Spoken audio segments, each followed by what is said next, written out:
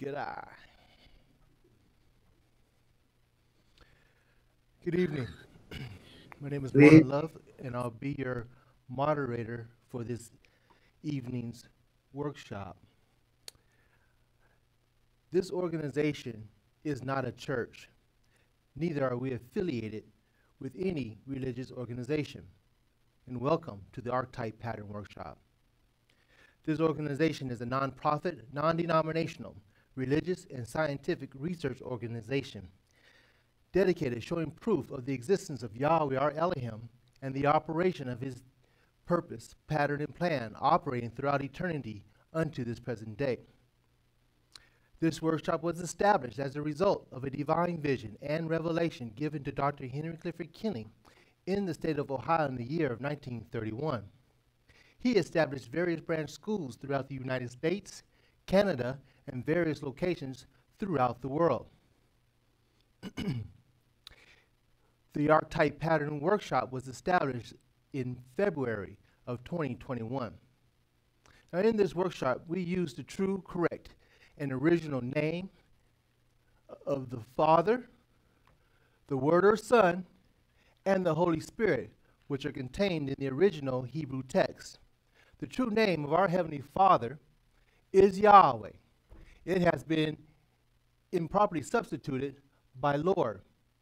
The true title of the Word or Son is Elohim. It has been improperly substituted by God.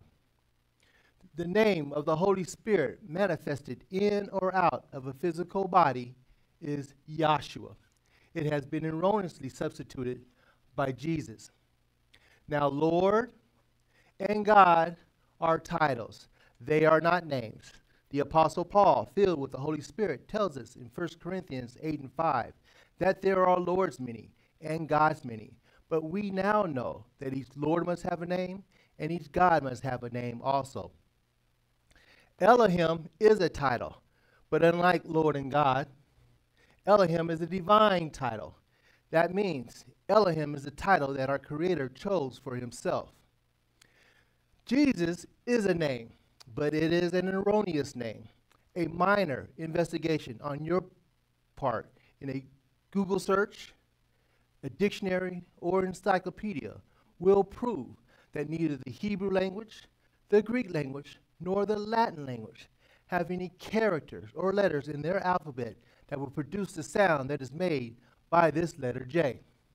Also, there was no J in the English language until some 1400 years after the Messiah's death. Therefore, such names as Jah, Jehovah, or Jesus are all erroneous names that they substituted for the name of our Father and His Son. Christ is a title just like Lord and God. Now, Yahweh is pure spirit, and in this state, he is inscrutable and incomprehensible. He is the ultimate source, substance, limits, and bounds of everything. We have Yahweh symbolized on this chart as a cloud. Yahweh is not a cloud. Yahweh, merely chose a cloud to symbolize himself because the cloud has no particular or descriptive shape or form. We have drawn this cloud all around the edges of this chart in order to show you that everything on this chart abides within the cloud. Likewise, everything in the universe abides within a pure spirit state of Yahweh. Now, Yahweh, knowing man could not perceive of him in this pure spirit state, took on shape and took on form right within himself as Elohim.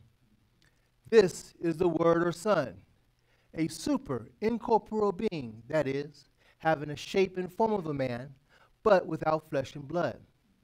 This form can only be seen by divine visions and understood by divine revelations. Later on, this self same spirit manifested himself in a physical body and walked the earth plane as Yahshua the Messiah, whom the world calls Jesus Christ. So the simple yet intelligent question we should all ask ourselves is what was the name of the Savior during the time he walked the earth plane.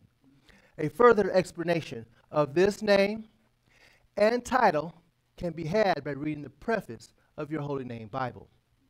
Also, in this school, we teach by the true and correct. But in this school, we teach by the divine pattern of the universe. It's called a divine pattern because it is Yahweh's pattern. After Yahweh led the children of Israel out of the land of Egypt, he called Moses atop of Mount Sinai and showed him a tabernacle pattern in a vision. Yahweh instructed Moses to build one exactly like it in the wilderness of Sinai. This tabernacle pattern consists of a most holy place, a holy place, and a court round about. These three compartments make up the one tabernacle pattern. In this school, we show forth proof that everything in the creation is made and operates according to the structure and function of this threefold tabernacle pattern, and that absolutely nothing escapes the pattern. Our 10 aims are as follows one, to help you find and know Yahweh, our Elohim, as he really is and actually exists.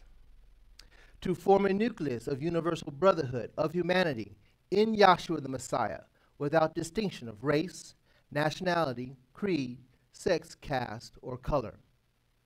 To investigate the unexplained spirit law, or so called law of nature, and the powers latent in man.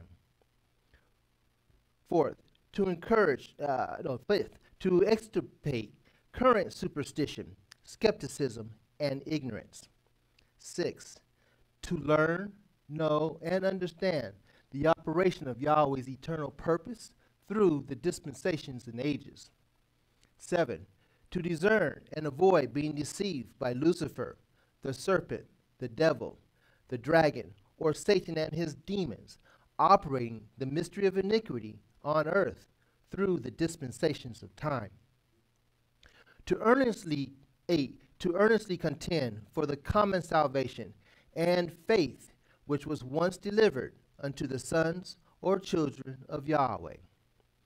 And ninth, to make known, to make known Yahweh from the beginning ordained. There is no other name given among men whereby man can be saved, saving the name of Yahshua the Messiah. And 10. To inherit eternal life now in the kingdom of Yahshua the Messiah, with the hope of immortal glorification in the new earth state. Our watchword is peace, and our slogan is speak the truth. I'd like to apologize first to our viewers and class members here for having a bit of technical driver issues with the computer. That's not typically a normal thing, so we apologize. And we'll see, uh, we usually exit about 9.30, but depending on where we're at at 9.30, we'll determine whether or not we'll keep the two hours until we call it the two hours, or um, we'll shut it down at 9.30. So just bear that in mind as we go through the, this evening's class. Um, we're going to forego the song, and we'll just have a prayer. We mind giving a prayer? Okay. Uh, we'll have a prayer by Bud Wunsch, and then we'll have a scripture reading by Isaiah, the 47th chapter.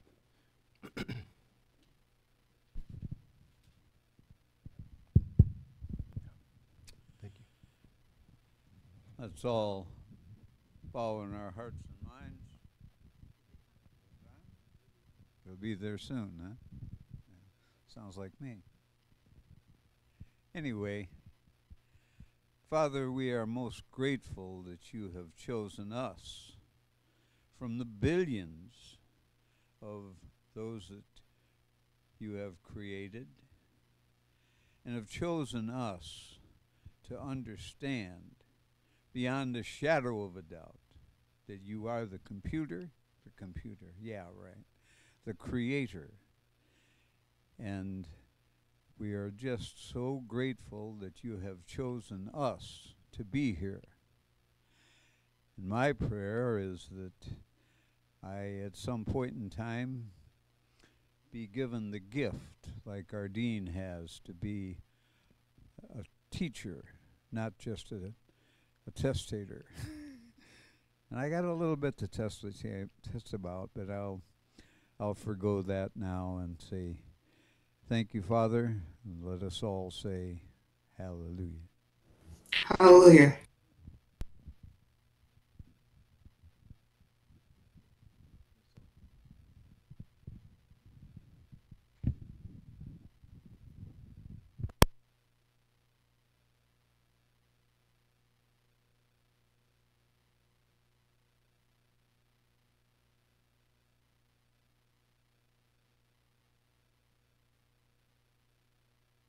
Evening.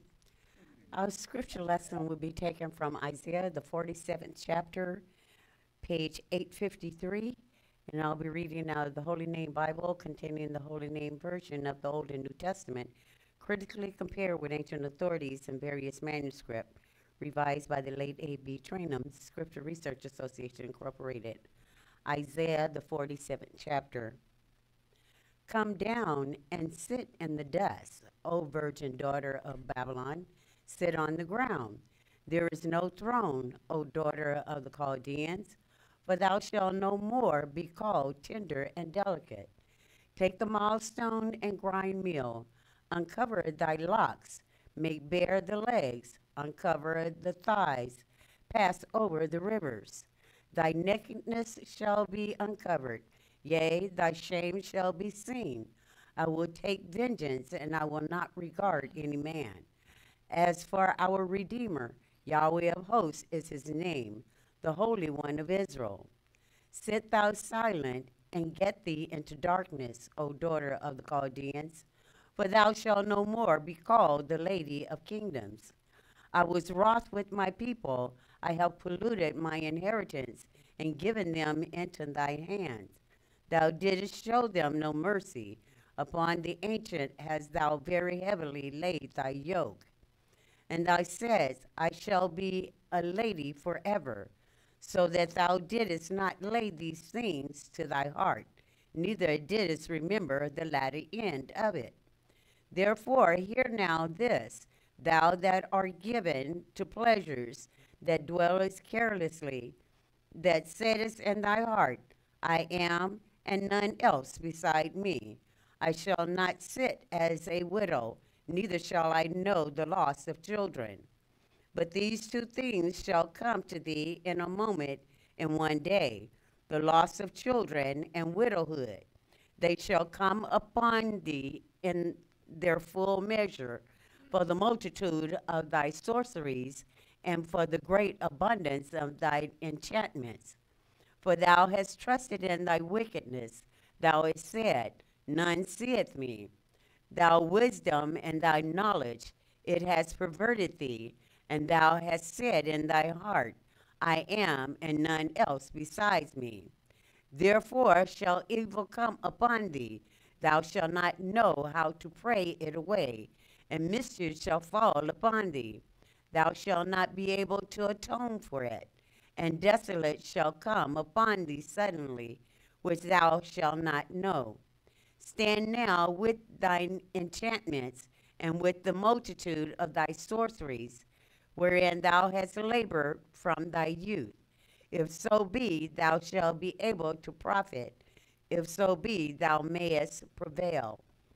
Thou art weary in the wood, in the multitude of thy counsel. Let now these astrologers, stargazer, and monthly prognosticators stand up and save thee from these things that shall come upon thee. Behold, they shall be as stubble, the fire shall burn thee, they shall not deliver themselves from the power of the flame. There shall not be a coal to warm at, nor fire to sit before it. Thus shall thou be unto thee with whom thou hast labored, even thy merchant from thy youth. They shall wander every one to his quarter, none shall save thee. I have read Isaiah, the 47th chapter. Let us all say, Hallelujah. Hallelujah.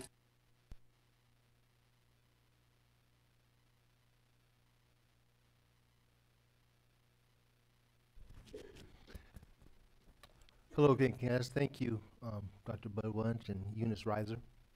Um, today is Thursday, typically open lecture, an open um, testimony night. If anybody has anything to say according to the things that we've learned. And, um, Doc, okay. Uh, these are the things that we want to be able to um, edify one another according to scriptures, according to uh, the things that we've been taught, so that we can uh, be united in the Spirit by the things that that's been shown to you um, going forward. Uh, you want to have a seat there? You okay to stand for a little bit? You okay? You okay? Yeah. Okay. Okay. That's fine. Come on. Uh, our first speaker will be uh, Dr. Bud Wunsch. It'll be a testimony, and it won't be that long. Okay. All right, do it. There's a few of us that have been here for the 1975 convention. I happen to have been blessed with being the first MC for that particular get-together. It was at uh, Washington, D.C., 1975. It was put on by Dr. Burbank Mitchell, very inspiring teacher. But he made one mistake. And when the founder saw the program and said, well, w- wait a minute, there's, there's no song here. We have a song when we have a class. And they buzzed around and back and forth and up and down. And probably everybody or most of the people in the audience didn't realize what was happening. But they finally made a quick decision that Dr. Pamela Snellbaker would lead us in a song. And it was something to, to witness. I enjoyed that convention. I think it burned into my brain the schools that were not having a song. And that's been one of my particular things that when I, I've had the ability and the blessing to visit a lot of schools throughout the country, and a few of them, mostly on the East Coast, they didn't have a song. And I'm not sure if they've changed back to having it, but they should. And uh, that's a big part of my testimony. Hallelujah. Hallelujah.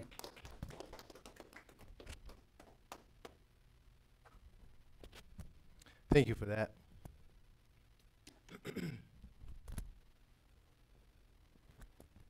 Uh, anybody else have any um, testimony or anything else they would like to uh, say on Zoom or otherwise?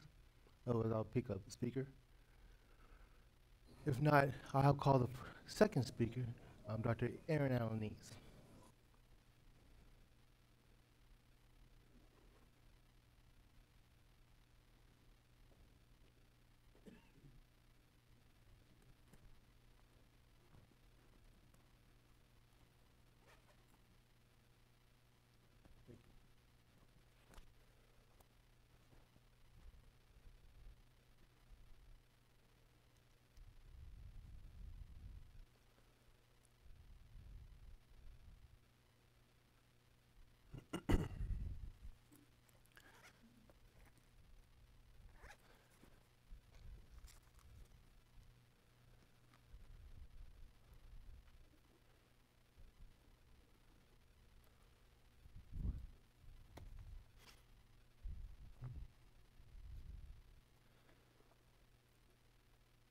Good evening.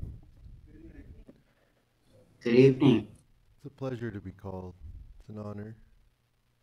It's exciting. Um,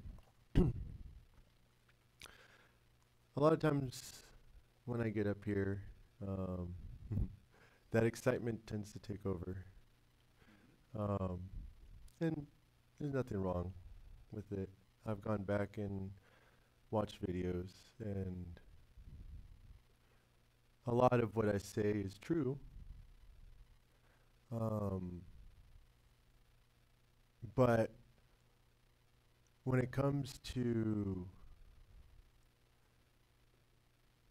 uh, presenting it to another individual, it's important that we remember um, the way we learned it.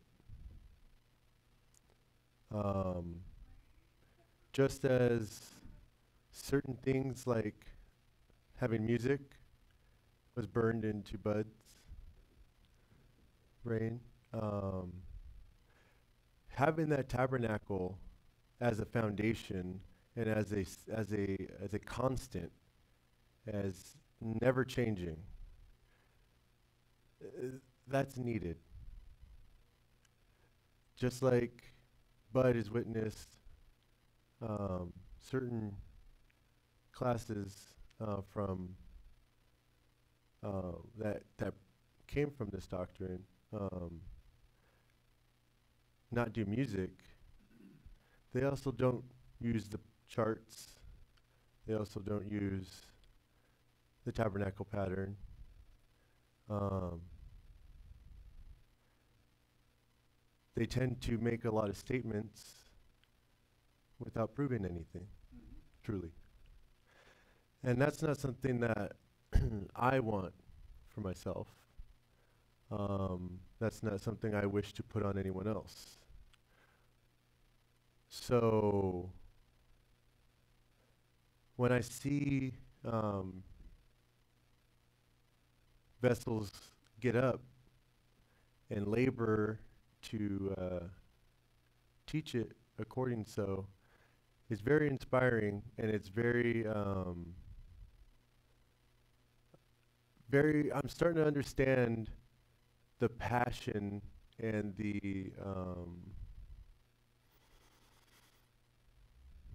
almost unrelentlessness of getting it right, um, despite feelings, despite problems going on in personal life, despite distractions, despite wants, despite those things that we were into or we did before we started coming to this class and before we were under the doctrine, before we knew who we were, before we knew our purpose, before we knew a plan. And we tried to do it without the tabernacle. We all tried before we came in here. How did that go? And so when you get up here, or when we talk about these things in our own lives, it has to be according to the pattern. So, as to not pontificate and waste time, which is precious, I want to use this book with, and which is a tool that's been given to us to use uh, to help me keep it straight when I get up here.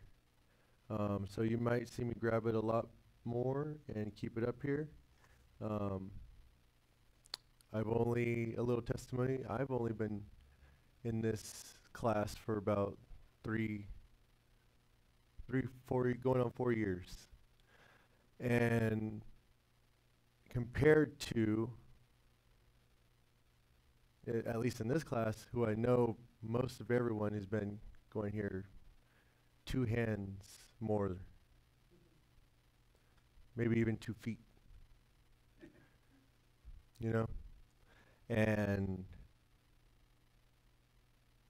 to be, I appreciate the fact that I know what I know now. And I know that um, because I like consistency. So I was looking for consistency in my life. I was standing on shifting sand, always, had no foundation until I came into this class. And now I ha- I I realize that I've always had a foundation. That's the thing. is you're always like was read in the scripture. You're gonna have it's gonna uh, have a revealing. I don't know if that was in the scripture. That was actually might have just been in my reading. But there's gonna be the, the tabernacle is gonna reveal um, because the tabernacle, as Will even states, and, and it's true. It's not just because he says it that the tabernacle is the Holy Spirit. It is Yahshua. It is the pattern. And he is the archetype pattern of everything. And when you see him, or when you see the Holy Spirit, you see the Father. So these things will reveal the Father to you. These things will reveal the foundation that's always been there, the ever presence of that Yahshua, that rock. Um, now, this this pattern that I'm speaking of um, is the tabernacle pattern, and it was given to Moses in a vision here atop Mount Sinai. After um, after Joshua and um, transmuted into a superincorporeal form uh, and and showed Moses this vision. After the seven, uh, six days of creation and then the seventh day of rest, he showed him for the remainder of 33 days the tabernacle pattern. And he was instructed to make a physical pattern in the wilderness. And just like the um, moderator goes over, this pattern consists of a most holy place, a holy place, and a court roundabout. It's important that we get that down because that's going to be the basis for everything that you go over. What this does is help reveal the Son, it helps reveal the Father, it helps reveal everything. It's your foundation. So, getting to know this pattern will help you understand or end the migratory trek will help you understand uh, pretty much will help you understand what you're reading. Um, a lot of people will read the book, the, the Bible, uh, with again their own interpretation, and they're going to come up with whatever their imagination gives them, or whatever delusion that Yahweh gives them, right? Well, to not to get it straight, and and we want to not interpret it carnally or with a carnal mind, because Yahweh gave us, or yeah, Yahweh through Yahshua gave us a way to understand Him, a way to um, see Him. Let's stick to this. Again, I feel like I'm just repeating myself, and I and I.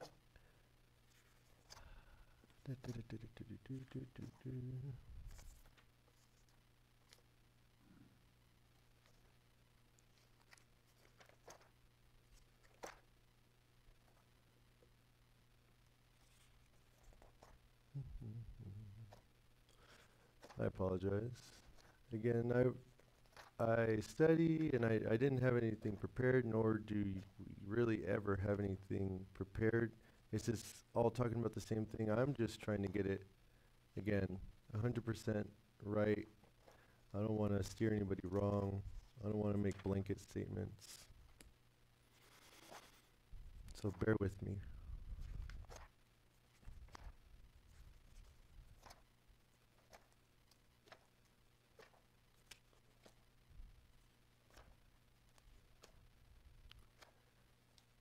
No,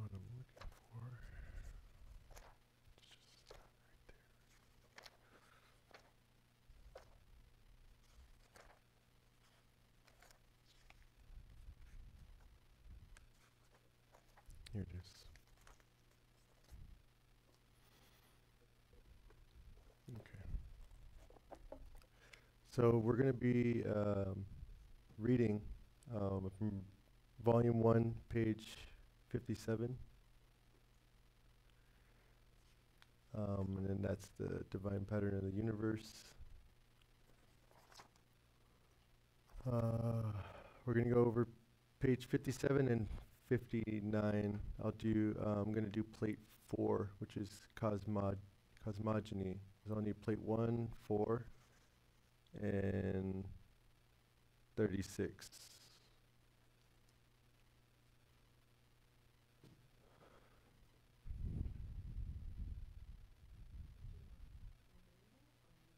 Um, yeah, I'll, I'll have you read, thinking, I'll have you read it and then I'll stop you along the way.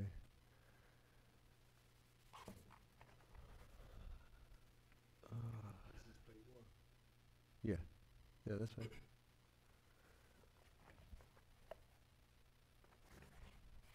Even though it say plate three. Right. The pattern plate, how about that?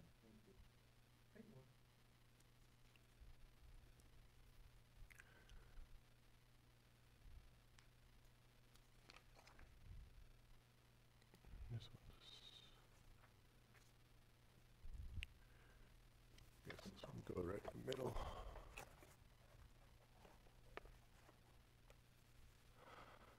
Okay. Uh, you can read uh, just in plate one, uh, 1A. So we'll go over, this is going to go over the um, tabernacle pattern, and then we're just going to go over um, blood, water, spirit, uh, blood, water, spirit, and uh, cosmogony, um, real quick, and then I'll give time to someone else. But this is just what was on my heart and mind, so I'm just bringing it up. Volume one, page fifty-seven. Um, in plate number one A is shown the most holy place of the tabernacle, a type of heaven with the Ark of the Covenant containing the Ten Commandment law therein. Now, what you're going to see uh, when we read this is going to line, it's going to show how all this lines up. We use the tabernacle pattern, and these charts are set up in a way where you can follow this pattern in, um, in this. You can follow the the the pattern in the story. Now, these are all um, accounts that are in your Bible.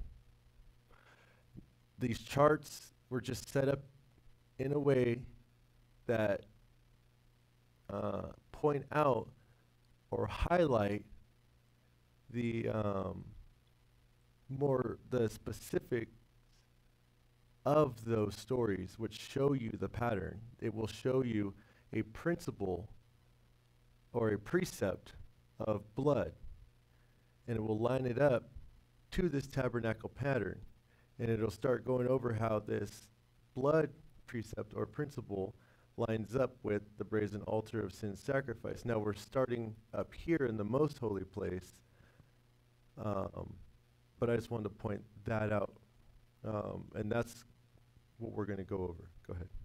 And the mercy seat thereon, overshadowed by the two archangels, is a figure of, a th- of the throne of Yahweh, coming from the most holy place. Plate 1a to plate 1c is the holy place, divided by a blue, purple, and scarlet color veil. Plate 1b, lavishly embellished with angelic figures. The holy place, plate 1c, represents the intermediate state containing the altar of incense, table of showbread, and the golden candlestick. Finally, coming through the door or the first veil, plate Oh. 1d. Or you'll hear a, a division or a, uh, you'll also um, hear that a change happens be, uh, between these divisions. And um, I believe cosmogony um, is going to bring that out. Go ahead. We enter the outer court, or court roundabout, containing the brazen laver, with water therein, and the brazen altar of sin offering. In an upward motion, the entrance to the outer court is made through the gate. The threefold witness of Yahshua the Messiah by the pattern revealed in the earth was expressed by the Apostle John in his writings. The Apostle John had witnessed many things being with Yahshua the Messiah, who proved by the miracles that he performed that he was the same Yahweh manifested in the flesh that created the universe. So we're not talking about three separate beings or um, three separate entities um, coexisting and working in unison. We are talking about a one spirit and having two manifestations, manifesting in a super incorporeal uh, form, and then later on, walking in a uh, physical uh, manifestation or the likeness of physical or sinful flesh. Go on.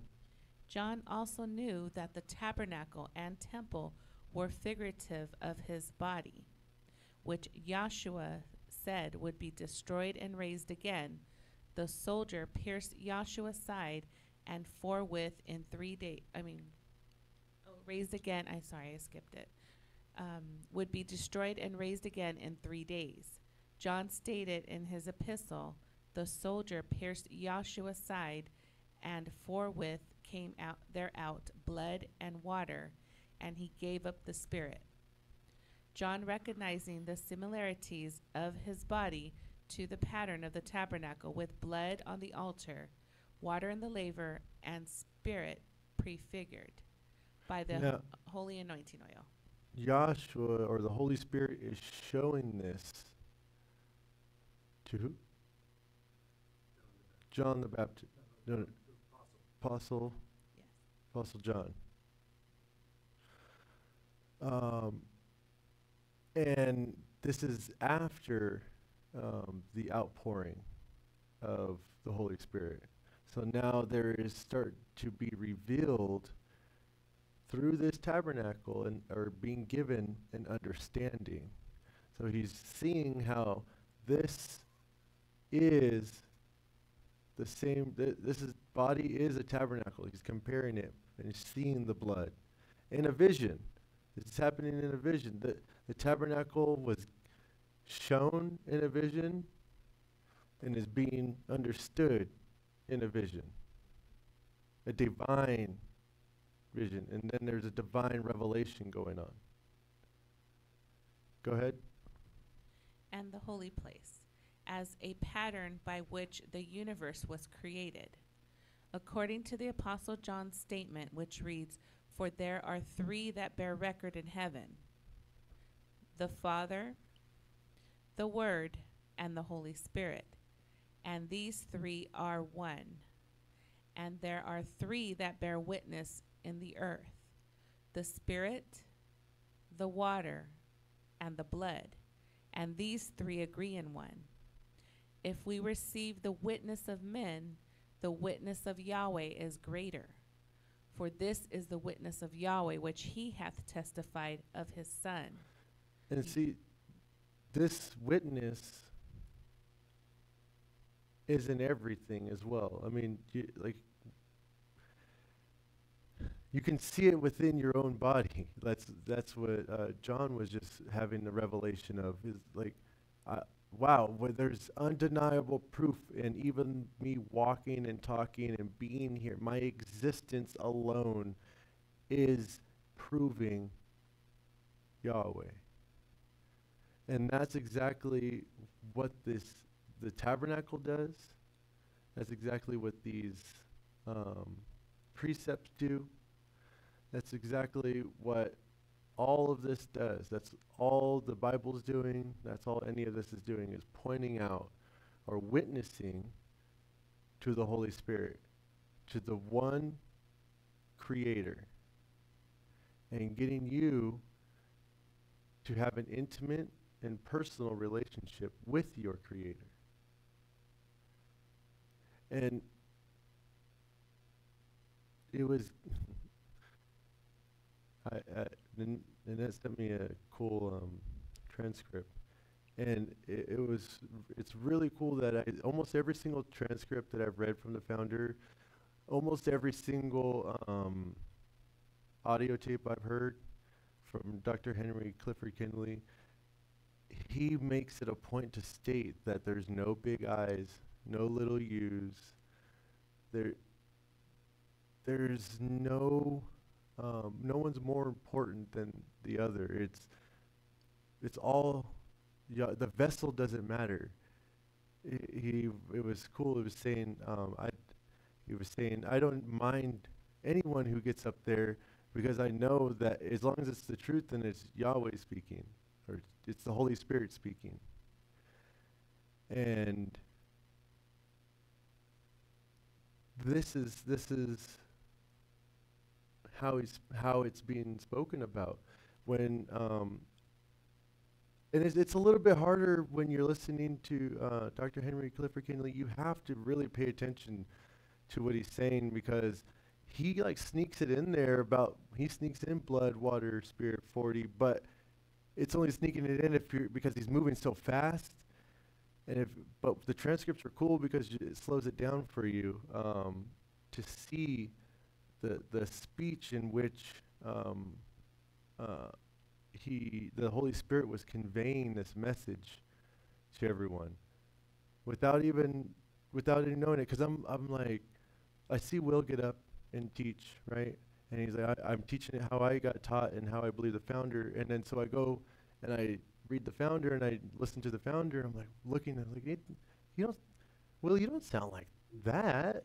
And I'm like so I'm you know, eh, I'm just not to compare them, but I'm just like, okay, well, what's going on here? And it's it's deeper than just the tones. It's deeper than just saying like I I how versed Will is in in history. It's not it's not all that. It's these. It's these precepts. It's this pattern it's that's what's going to prove it to anyone, to yourself included, most of all. Because it, it's not going to be any of us proving it to someone else. It's going to be the Holy Spirit. All we can do is share what's been what's been proven to us by the Holy Spirit, as John's doing, receiving it from the Holy Spirit, as Moses did, received it from the Holy Spirit. It's not changing. Is a consistency. This is the consistency that I've always been looking for, and I'm glad I found because I can miss a day and come back uh, next day, and it's the same, same, same, same. And it's, I appreciate the fact that a vessel from that's been here from almost the, the, the beginning, I could say. Almost. You've been here. I, I remember hearing the founder say, and Bud helped uh, uh, uh, proofread the workbook and everything. Proofread the workbook?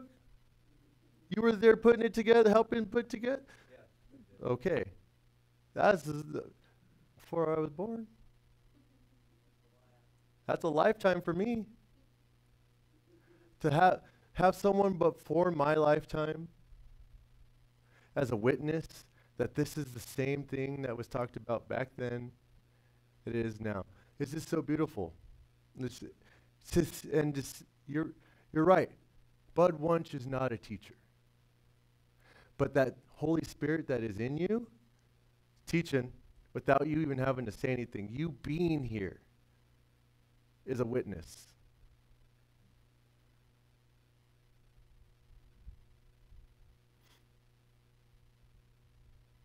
These are all witnesses and pointing out Yahshua.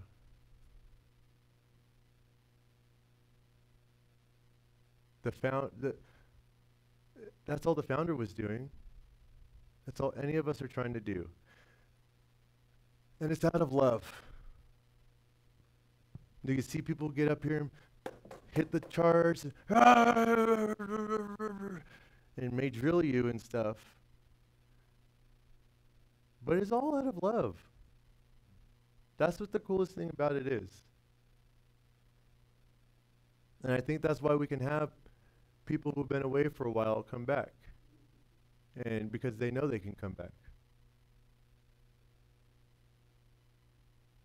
Because it's not changing.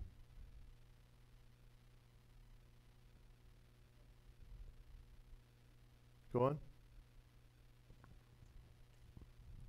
Also, according to John's vision on the Isle of Patmos of the creation by the pattern as seen and described by Moses.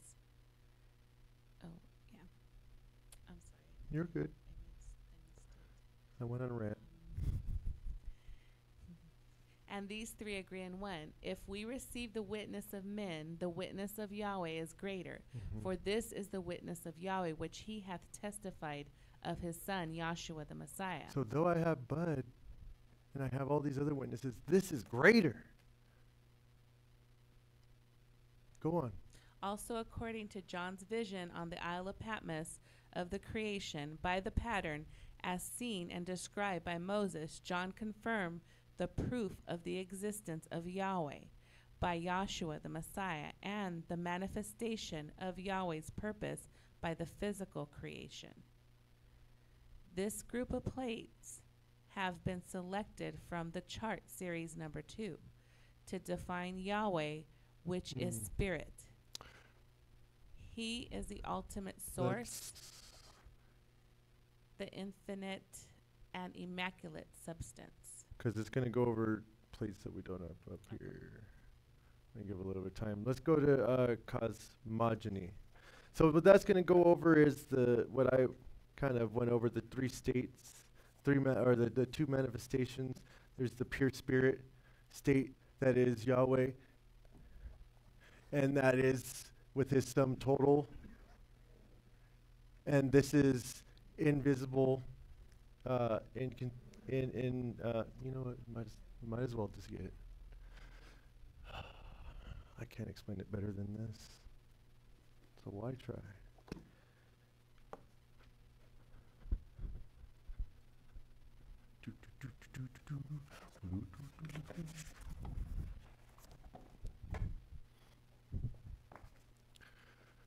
Calls for these charts. We'll use these charts.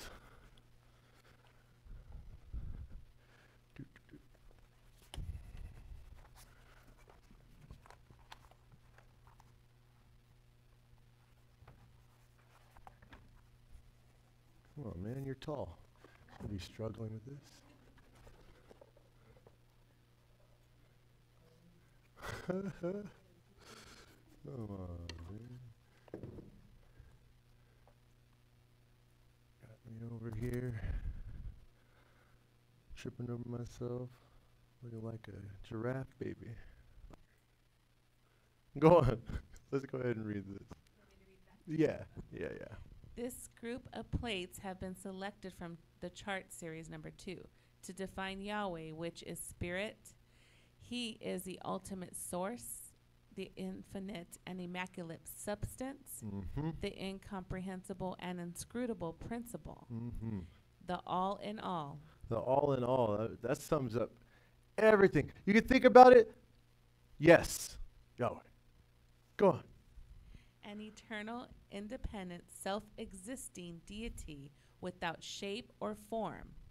In plate 3, Yahweh was manifested in two invisible parts, which could be seen only by visions as the world and the Holy Spirit. So that's why you can sorry, as the Word and the Holy Spirit. you can see we have up here it says uh, inscrutable and incomprehensible, and this veil, like here in, in the tabernacle, is open. So it came from behind inscrutability and incomprehensibility. And what did it say? Into the two, two forms? Two invisible parts. In, invisible or unseen, that could be seen in a vision and understood in a vision. Because that's what we just, we were talking about, uh, John, getting an understanding of the vision of this tabernacle pattern, which is Yahweh coming out of inscrutable and incomprehensibility to now be seen. Go on. To make himself and his purpose known to mankind. And make himself known and his purpose known to mankind. Go on. Plate number two, called Theosophy, or exposition of the threefold Godhead, is shown in plate number three as the anthropomorphic being, illustrating the combined or sum total of all the attributes embodied in Yahweh. So plate three is showing the s- what this. So in this plate, it's showing the sum total of these attributes. In plate three, it's showing where, in part, these attributes took on a shape and a form. Go on. The true original arch- archetypal pattern Who is the true and original archetype? Original pattern, archetype, archetypal pattern? Go ahead. the threefold supernal nature Mm-hmm. Father, Son, and Holy Spirit is revealed in the threefold composition of man, being spirit, soul, and body. Mhm. Also, the attributes of Yahweh are revealed by the principles imbued in man, such as intelligence, wisdom, knowledge, beauty, love, justice, foundation, power, strength, and kingdom, etc. Yahweh was manifest in Yahshua the Messiah, as Paul states. Without controversy, great is the mystery of holiness. Yahweh was manifested, manifest in the flesh, justified in the spirit, seen of angels, preached unto the Gentiles, believed on in the world, received up into glory. Yahshua himself said, He that hath seen me hath seen the Father, for I am in the Father, and the Father in me. So there was there was once someone who had a problem with that being said that I see the Father. And when you understand what that was just said right there, you can make that statement that yes, I've seen the Father. Why? Because I have now a knowledge of the Holy Spirit. I have the witnesses of the Holy Spirit. I am in the Holy Spirit and the Holy Spirit in me. And that will just give the flashes kind of an enlightenment and understanding beyond your wildest imagination. Go ahead. Cosmogony. Plate number four illustrates the generations of the heavens and earth, called cosmogony, an exposition of the creation as compared to the pattern of the tabernacle. Mm-hmm. Over here. Plate 1. In Plate 4A, we recognize Yahweh in eternity as Spirit, being universal spirit law and substance, the source from which all things emanate, both visible and invisible, and is compared to the most holy place in Plate 1A. A type of heaven with the Ark of the Covenant therein and the mercy seat, seat thereon overshadowed by two archangels, containing the law of the commandments with the invisible presence of Yahweh in the cloud above, which is the throne of Yahweh. On the veil, plate 4b, is seen figures of angels, typifying the invisible angelic spirit creatures who were created before the physical creation, indicating the division between spirit and matter. This is proven by the pattern of the tabernacle, plate 1b, with the veil embellished with angelic figures coming through the veil to plate 4c. The holy place, we find Yahweh, which is spirit or substance, taking on the invisible gaseous form of atoms, existing in ethereal space known as the second heaven, as compared to the holy place in plate 1c, an intermediate holy place. Finally, coming through the first veil to plate 4e, we find the amalgamation of these invisible atoms into molecular structures without taking on shape and form in the creation of the material in organic earth as compared to the outer court, plate 1e, with its brazen vessels for sin atonement, a figure that the Messiah as the atonement from the foundation of the world, the infernal of the molten lava in the center of the earth, plate 4e, is compared to the brazen altar with fire thereon for sacrifices, plate 1e. The hot springs and streams, plate 4e, caused by the intense heat of the eternal of the internal lava and the clouds and water surrounding the earth is compared to the brazen laver, plate 1e, containing water for washing and cleansing purposes. And then it goes into chaos. Okay. And I'm gonna um, stop there uh, so I can give another speaker a chance, um, or else we would just be reading. um, but that's been what was on my heart and mind um, to get this straight, and that's what I've been focusing on. So I just wanted to um, share that uh, with the class and uh, encourage you to um, read this for yourself on your own time. Um, it's a lot to go through in just a class. So again, I don't want to just drone on and let it just be read. I want to give another speaker a chance. Um, and then uh, I just want to express how much I appreciate the time, um, how much I appreciate the attention, and um, how much I appreciate uh, knowing and being shown any of this. Um, all praises, again, if you got anything, um, just as I got it, it's from the Holy Spirit. Don't give any praise to any of the vessels. It all goes to the Holy Spirit uh, because that's who's teaching. And with that, I thank you for your time. Hallelujah.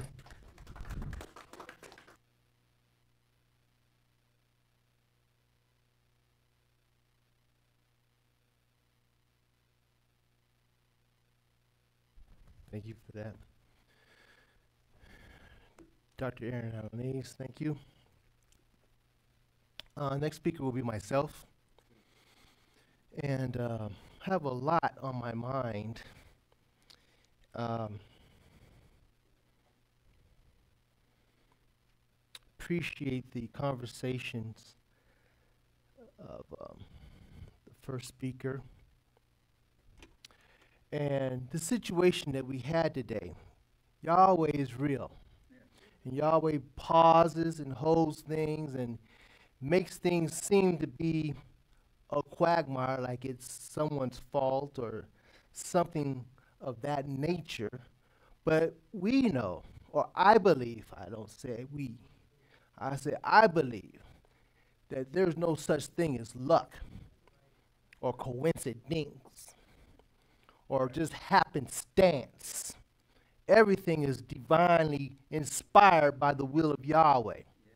However, you want to spin it. And that's spinning it in your head of how you think things are just willy nilly. Doc here said he been here since 1975. I no no, 68. You had a convention in 75.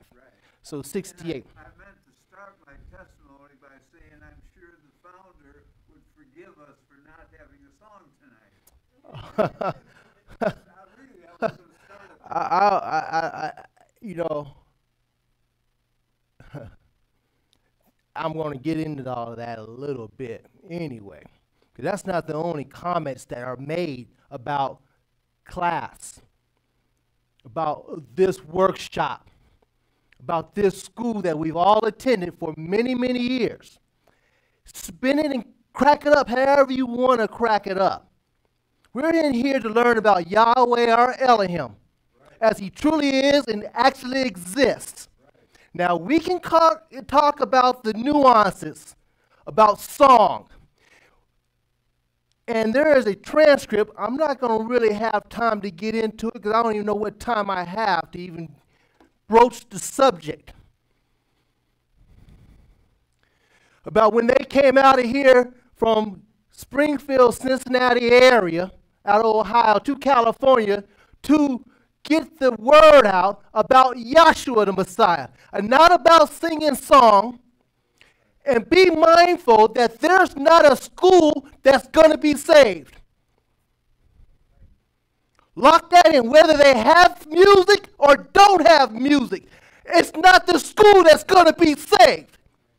This workshop pattern, archetype pattern, whatever you want to label it, it's not going to be saved whether you're here or not.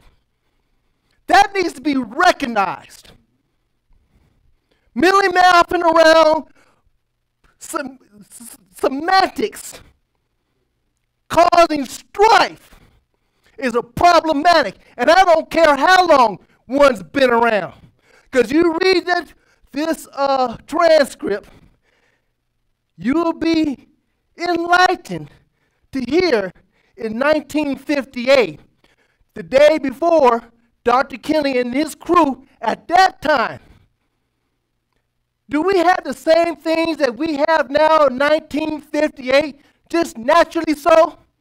Did you, but were you online in 1975 booking your flight to go to Washington, D.C.? Things change. And you got to read it. I said things change, and Aaron said, but these principles remain the same. The manifestation changes, but the principle remains. And you better catch on to what's a principle and what's a manifestation. You can talk all these charts, and we've said it before. Oh, why are we starting with Moses? If you don't start with Moses, you, you, you don't know where to begin at. And he's, as has been expressed, he, Dr. Kinley, made seven charts and two trans, uh, textbooks, 16 some odd pamphlets, striving to get this teaching out. Not the school, the teaching, the doctrine. Just like we say, we're not mad at people. Include yourself in that too. But your doctrine can be problematic.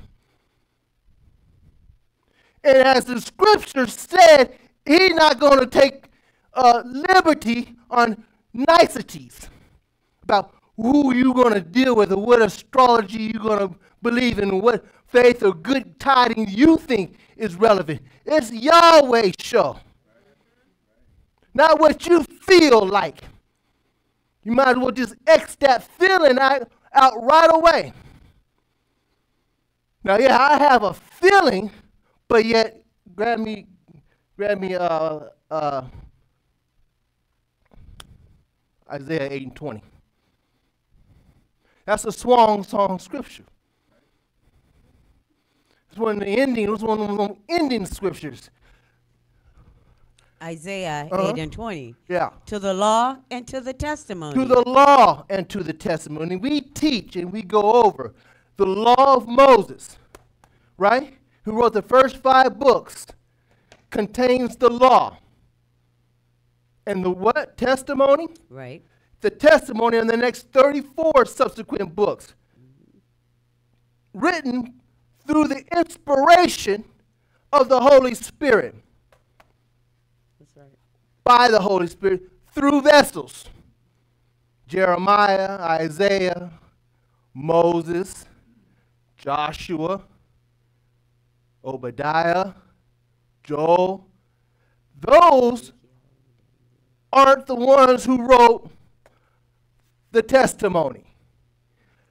They were inspired, just as we're inspired when we get on the floor to have anything to say about what we've been taught according to the will of Yahweh, right? That's what we're going to have to use the law and the prophets. So, for one to say that belaboring these charts and bringing them up and working with them like the second vessel has and say that it's trying to emulate somebody is foolishness. If the shoe fits, wear it. Huh? This was part of the 40 plate chart right. that Dr. Kinley put up. And if someone tries to labor to bring out the point of Yahweh from pure spirit and coming out through the inscrutable and incomprehensible, incompre- incomprehensible veil to show you Elohim, you listen. Some people don't want to take the time to listen to it, or they just think it's uh, what they call it. Uh, what's the word? Academically trained. Ha. Just trying to be smarty pants. This is why they got the 40 plate chart up here in the first place. Hey, this Daniel chart wasn't created, but it was sanctioned by the Father. The green chart by Mitch, they created it, was sanctioned by the Father. Saying it's whatever you can use to convey the point of Yahweh, whether you call it workshop, whether you call it school, or whatever you want to call it, realize it ain't the place, it's what's being spoken about the purpose of Yahweh. That's right. This is not your Savior, the man that hung on the cross. But to con- convey that, to explain that, we had these charts drawn out so you can see the bloodline, the water line, and the spirit line. Why? Because these three uh, manifestations in the earth plane point to the one unity of Yahweh. That's right. Not everybody realizes that. But we use these charts, and I don't care how many of the 40 plates you want to pull up here, if you can draw that out and work with these uh, uh, tablets or tables to bring and show forth the court roundabout, the second heaven, and the unity of the Spirit, you're doing a body good. But to, to belittle it and say it's just just just banter, and I don't care how many times a person talks, because you read that uh, that pamphlet there in the uh, it's called the ministers' meeting, 1958. Not gonna get it because it'll hurt a lot of people's feelings if I ran through it real quick. But it's called the ministers' meeting before the first class in Los Angeles Right. Talks about school, about how they ought to conduct themselves, mm-hmm. and how they ought to keep their little petty problems at home. Mm-hmm. It apply here, but not everything always apply. See, there's reasonings for things. You mm-hmm. see, we were off about, about 45 minutes from getting started today. Huh? Therefore, I'm trying in my heart to expedite getting to the gospel. Not because I don't like song, but because there's an urgency to preach the gospel. Mm-hmm. Song was only introduced into the school in order to get a person's mind Right. settled. Settled. That's it. Whether you care, you whether you got a, a song or not, makes no difference. What the matter is, is the gospel. A mm-hmm. song is for the people to get settled. Right. Huh? Same thing with prayer. These things we, we want to endeavor and encourage one another to be quiet and petition Yahweh. He talks about having faith and a belief in Yahweh. You know? When you read through how he explains your faith and your belief about prayer. See, man, we just do it. Not like church. Right. We said in the moderation today, or I said, this is an organization and not a church. Huh? Nor are we affiliated with any religious organization. You see the Catholics doing ceremonies? You see the Catholics and other Christianity doing Passovers, Easter's coming uh, uh, Monday. They do baptisms. They do it in secret now, but they do them. Yeah. They're hidden. They have Ten Commandments they'll put on you, however many that they know. They'll, they'll encourage these things on you. We don't put none of this on you. That's right. Say what you want to say. But be mindful, it's not a curse to do one thing or another. You see? We're not here to change the outlook or the scope of what Dr. Henry Clifford Kinley brought in by way of a divine vision and revelations. Now, when you hear something go amiss in that direction, let there be conversation. Mm-hmm. You follow? Not a chastisement, but a conversation about a matter. Mm-hmm. Because there are, as it says in the scripture, there are some things that are under damnation, and there are some things that are not. And if you've been in class any amount of time, when I, it, as Dr. Kinley said in the, in the transcript, if you've been in class at that time, some 47 years, some of the people have been in there, but he still let them know, you ought to know what's going to deter a person from listening to this great and stupendous teaching. And in 1958, he was still using Lord God and Jesus Christ. So if you're going to take everything that he said and all that he said do and bring it all the way over here and dragging it over until now, you're going to be a mess. Yeah. A lot of things. The suit and tie. Ask them to dress appropriately. Why? What was the reason for it? You follow? Just like tonight, I opted, I opted to skip this music. Not because I don't like the music, but because time was of the essence. Mm-hmm. Huh? And these things we can make comment, and we and we and we Will wasn't having it in his classes, but we had it in here. We were playing two songs, and really they played two songs. They played one at the beginning, and then they played, and we were doing that for a while, weren't we? With two songs, because I was raised in school, and they had two or three songs in the course of. They really needed to get the people settled and between speakers at times, right? Things change. We're not doing that. You didn't keep you from coming. Not everything, not everything is going to be everything all the time. No. Now, if we start preaching Jesus Christ and Lord is your Savior, then you have some something to gripe about, That's right. right? That's right. So there are certain things that we, as as a students or as members, need to kind of gird ourselves up and have a little substance. And that's what Dr. says about in this ministers meeting before the first class in Los Angeles. And he wanted to put this on film.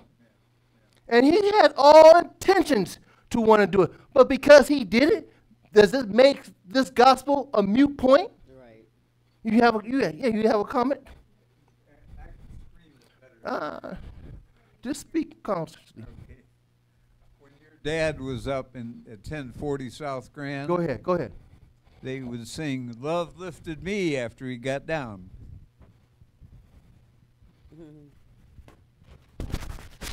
They said what? Love lifted me. Mm. They'd have a song between speakers, Mhm. and when your dad was up and he got down, Mm. the song would be "Love lifted me." But was that piety or did someone get lifted up? I don't know. Because his last name was Love, it just could have been an interesting thing. I don't know. We don't know.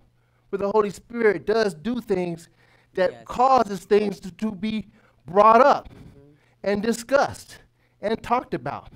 We're not going nowhere, I believe. We've been emergent, as it were. And not even a real emergent because we had always been here for some 14 years prior. He had no beef with us. Otherwise, he wouldn't come back and mess with us. Huh? Yeah. But the school that he started and the powers to be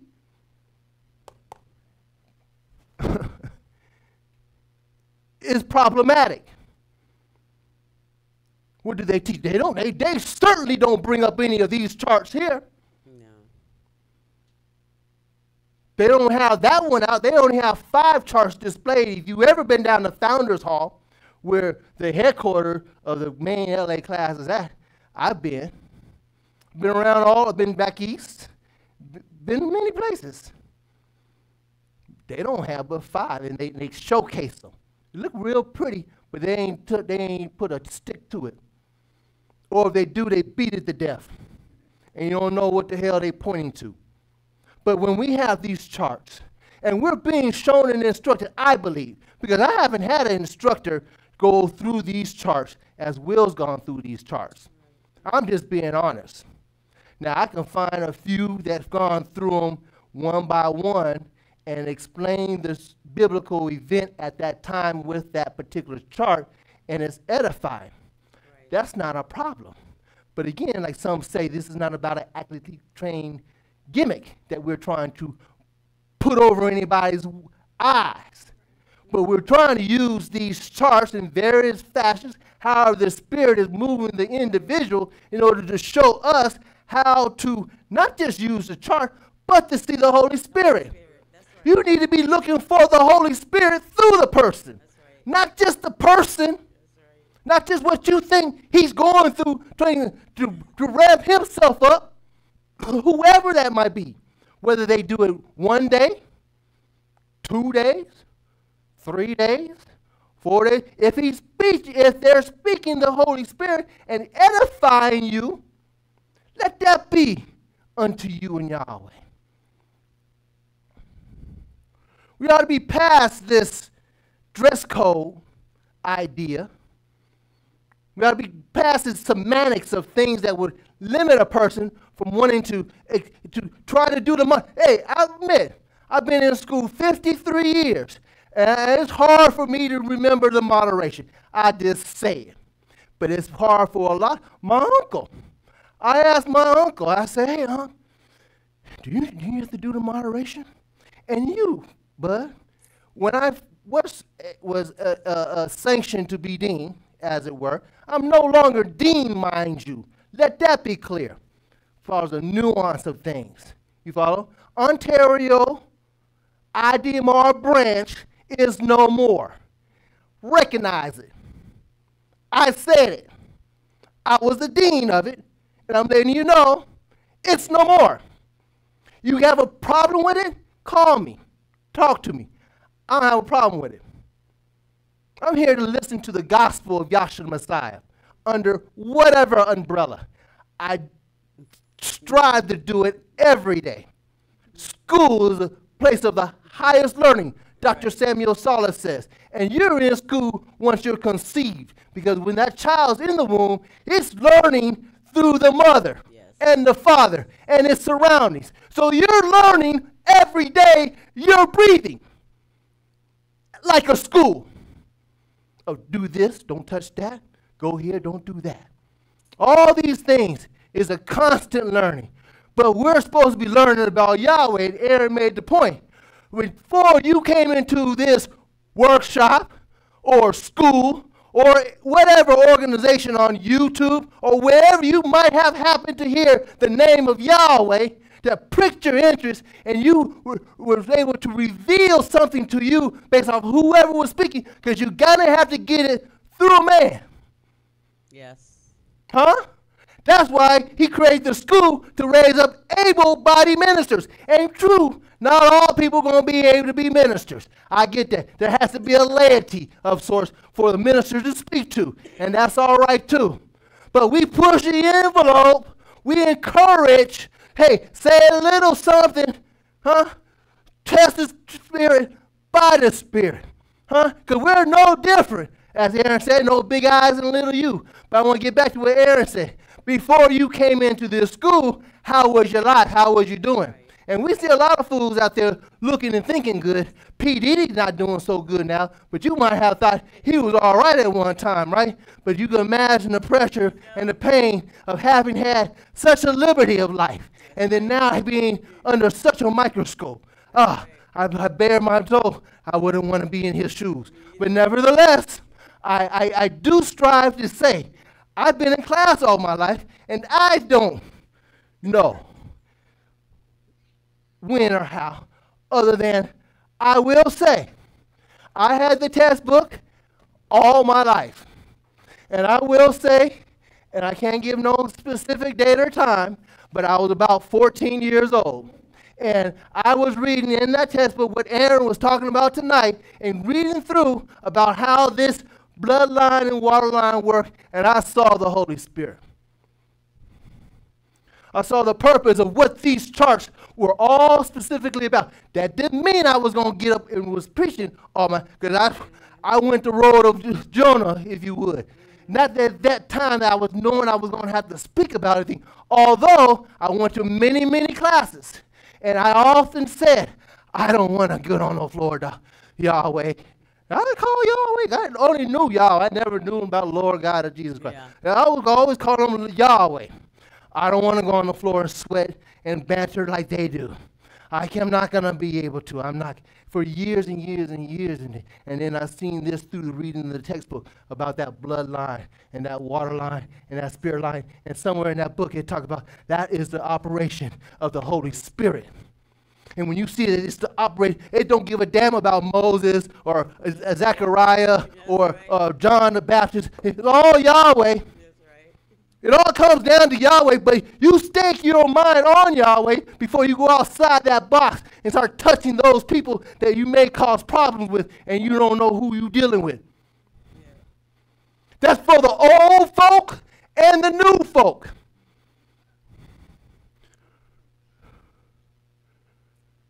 I'll go, to, I'll go 10 more minutes and we'll be done. Isaiah 8 and 20. Let's finish up. See what happens. Because Isaiah 47 talked about it too.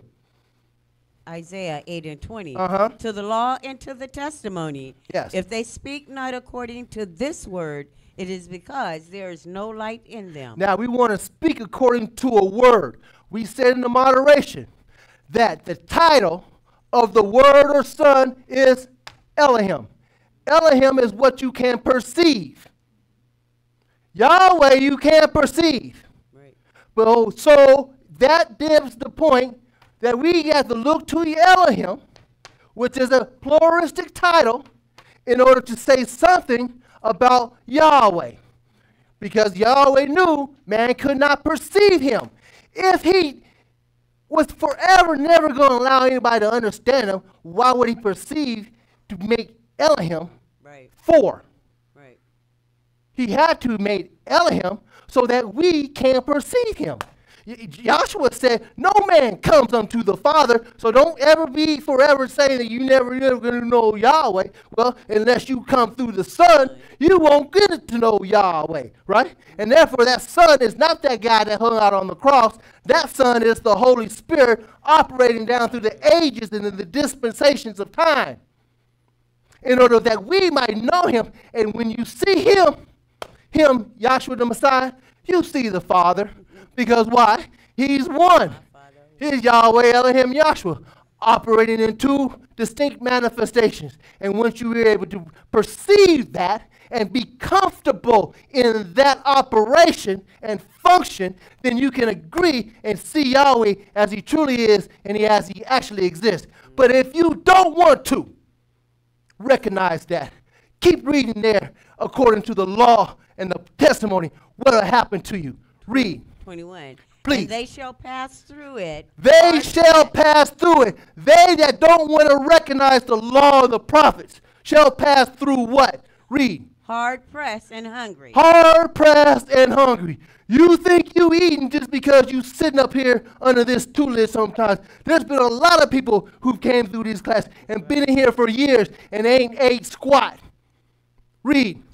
And it shall come to pass Yeah. And when they shall be hungry, they will become. It shall angry. come to pass, just like Isaiah wrote in the 47th chapter. Huh? It said it over there about the, your astrologers and your gainsayers and your and your and your witch, witch witchcraft worshippers. So just put it together. Keep reading. What happened to them? They will become hungry and curse their king and Uh-huh. their deities Uh huh. and look upward for help. Oh, they're going to look upward because they're still looking at the flesh.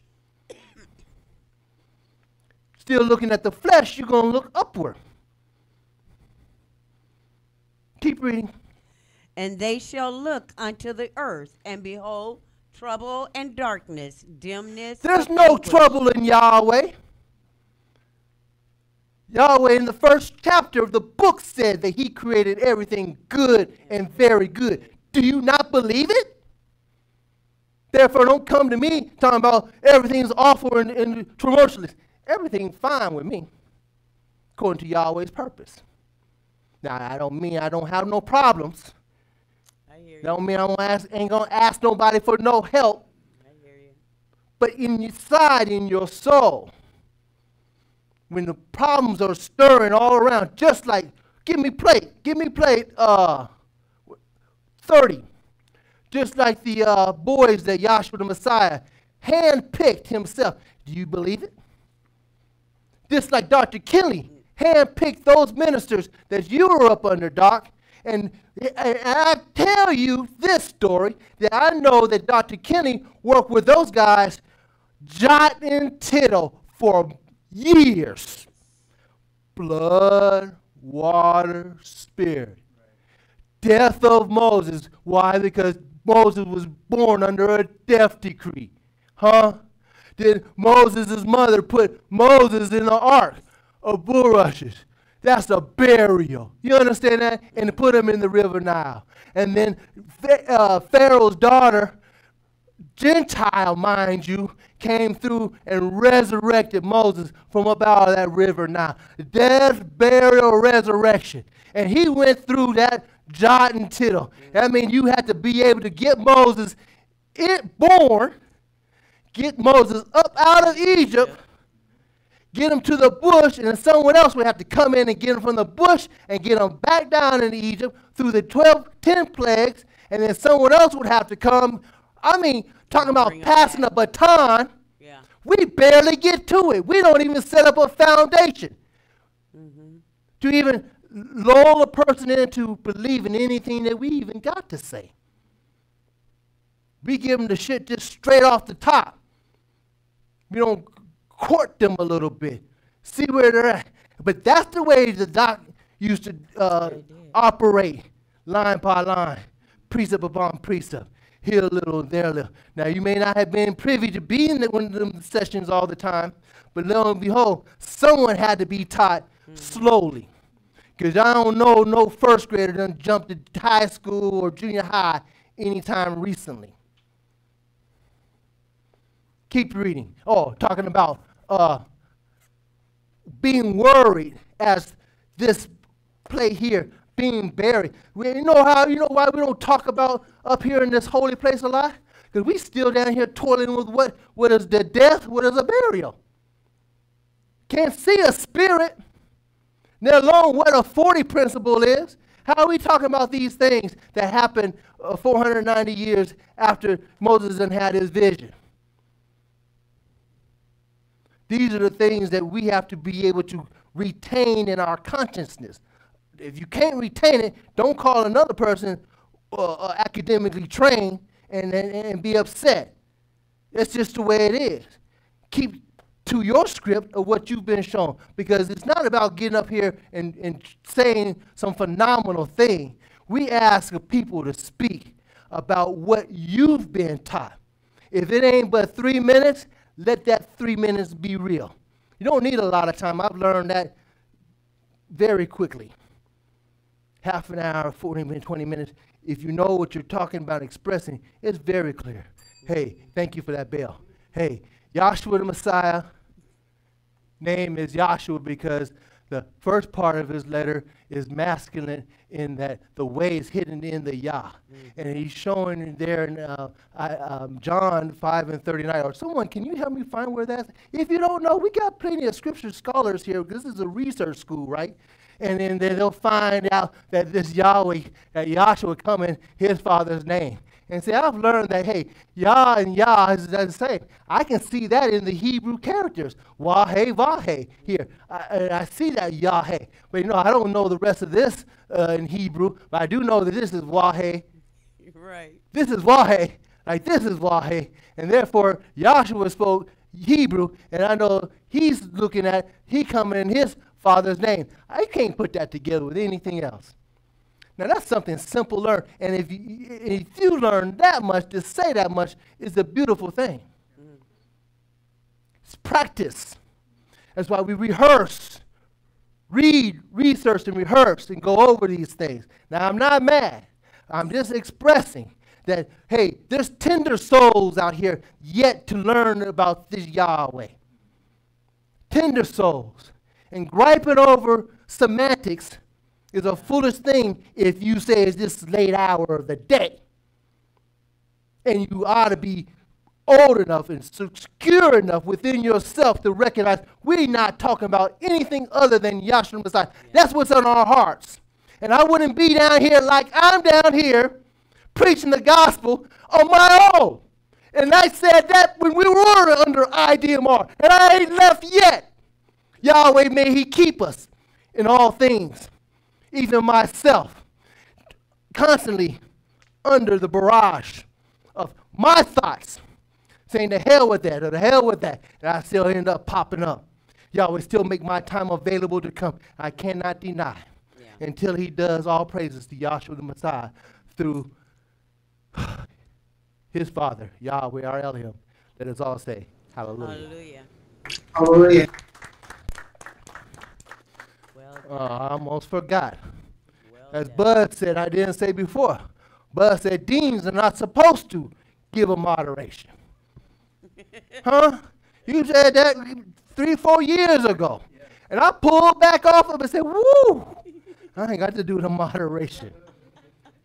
now, see, we're not that school anymore. That things have changed. And we needed someone able to give a, and I'm learning. You'd be surprised. Yeah, I'm learning and that uh, mistakes do happen, and you don't have an eraser on the end of a pencil for nothing. And so we bear with, we bear with, bear with one another through these things that we struggle with in learning the gospel, let alone going through life. You follow, and, and getting on this floor to, to to to look to Joshua. So I hope something was gained and, and learned. Um, the moderation. Uh, we hold classes here, 18, 16, East Elma Court, um, city of Ontario, on Sundays from 10 to 12, Tuesdays from uh, 7 to 9, and Thursdays from 9:30 to 7:30. Ni- ni- uh, 7:30 to 9:30. My apologies. Um, there's a uh, convention seminar in Chicago uh, coming up next week or in two weeks, the 11th through the 13th, 14th in Chicago. Um, so we want to be able to be mindful and be able to see those videos online. I believe they'll be streaming them online. So that's coming up. Um, we have some other announcements that are going to be shown on YouTube under the community section. So the, any pertinent uh, uh, news, we're going to be putting it under the community section on your YouTube page, so you can br- uh, peruse that to get any updates. So um, I need the I need the thing. Let us all stand and be uh, dismissed with the moderation, with the doxology. That's we're going to be taking out of the last two um, versions of the of Jude. Jude 21, 24. Now unto him that is able to keep you from falling and to present you faultless before the presence of his glory with exceeding joy. To the only wise Elohim, our Savior, through Yahshua the Messiah, our sovereign, belong glory and majesty, dominion and power, both before all time, now and ever. Let us all say, Hallelujah. Hallelujah.